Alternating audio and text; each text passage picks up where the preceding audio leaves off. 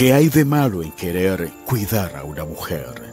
Si ella cuida de ti, las mujeres tienen fuerzas y capacidades que asombran a los hombres. Ellas se pueden encargar de los niños, pueden sobrellevar penas y situaciones muy pesadas y sin embargo tienen espacio sobre la felicidad, el amor y la alegría.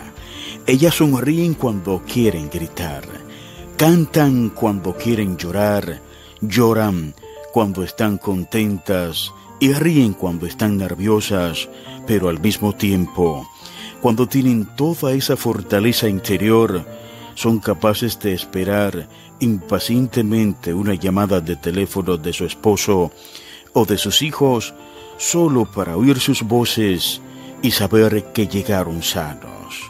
Las mujeres tienen cualidades especiales, por eso siempre se ofrecen para buenas causas, son voluntarias en hospitales, llevan comidas a los necesitados, trabajan como niñeras, amas de casa, abogada y solucionan problemas entre niños y vecinos.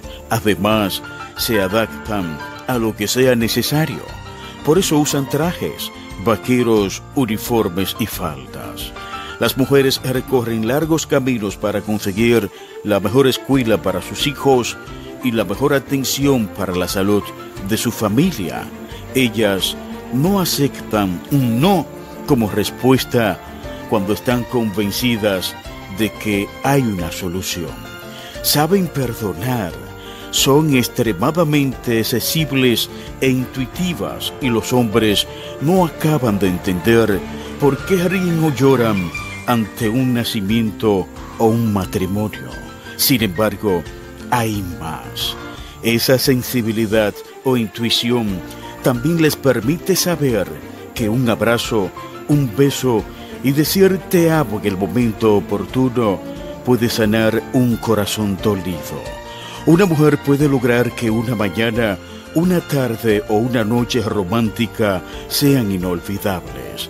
Las mujeres vienen en todos los tamaños, colores y formas. Viven en casas, palacios o cabañas.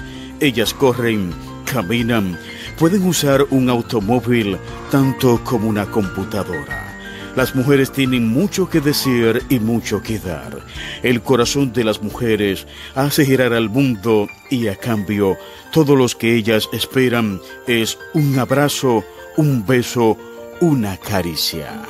El amor que ella entrega apasionada e inocentemente al hombre al que ama es el mismo que la impulsa a cuidar a su amado cuando está enfermo o simplemente prepararle una taza de té en las frías noches de invierno. La belleza de una mujer no está en la ropa que lleva, en su figura o en la forma en que se peina. Si quieres descubrirla, tendrás que mirarla a los ojos, que es la puerta de su corazón, donde reside la esencia de su alma. Tienen que aprender a reconocer a una verdadera mujer cuando toca a sus puertas para que así nunca la dejen ir.